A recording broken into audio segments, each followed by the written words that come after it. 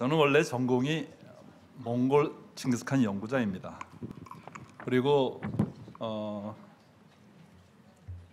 굉장히 좀 아쉬운 얘기지만은 이 1911년서부터 북방 공정들이 시작되고 있어요. 즉 몽골 독립 방지를 위해서 그걸 하다 보니까 여러 가지 공정들이 시작이 됩니다.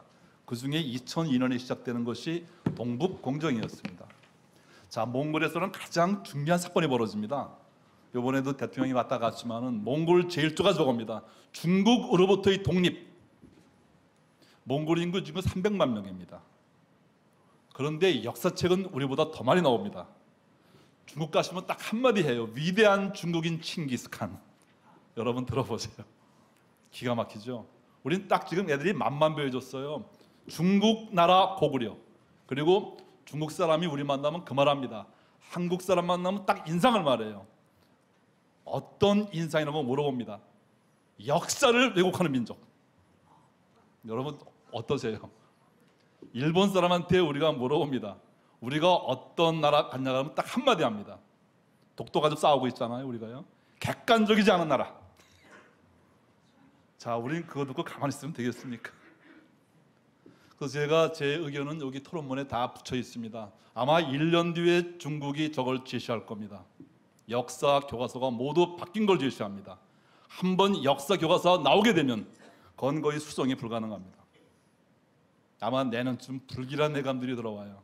지금은 확장 공정에 들어갔습니다. 이미 공정 다 끝났어요 지금요. 하고 홍산문화 지금 완벽한 이론으로 만들고 지금 조양시와 적봉시가 지금 싸우고 있습니다. 누가 더 큰 홍산 문화의 주인공인가? 중국의 모든 도시들은 지금 모든 박물관을 만들고 또한 홍산 문화, 홍산 문화는 즉 황제의 문화입니다. 아메리카 인디안서부터 한국은 물론 몽골, 뭐 헝가리 다 중국의 후예들이 되, 후예들이 되게 되어 있습니다. 참으로 불길합니다. 일본은 식민사관, 즉 아까 말한 인나일본부, 중국은 동북공정, 북방공정부, 티베트 공정 다 들고 모든 것이 끝난 상태에서 우리가 그 파도를 맞게 됩니다. 한 우리가 조선 말기보다 더 어려운 시련을 겪게 됩니다. 지금 우리 경제력이 거의 30%가 중국한테 장악돼 있습니다. 그러면 독립국이 될 수가 없습니다. 하나의 지역국이 됩니다. 우리가 미국과 가장 열심히 했을 때가 무역고가 23%였습니다. 지금은 거의 28%가 올라가고 있습니다. 아마 독립이 안 될 겁니다. 바로 몽골과 우리나라가 중국이 경제부터 정확히 들어갑니다. 그리고 마지막 한 방이 바로 홍사 문화를 중심으로 한 교과서 편찬입니다. 저는 마지막 질문이 하나 있, 습니다 아까 우리 우슈라 교수께서 많은 답변을 방어책을 했는데 저게 들고 나왔어요. 동북아 역사 재단을 활용하자. 아마 공직에 있던 분들은 대충 그 정부기관 특징을 압니다.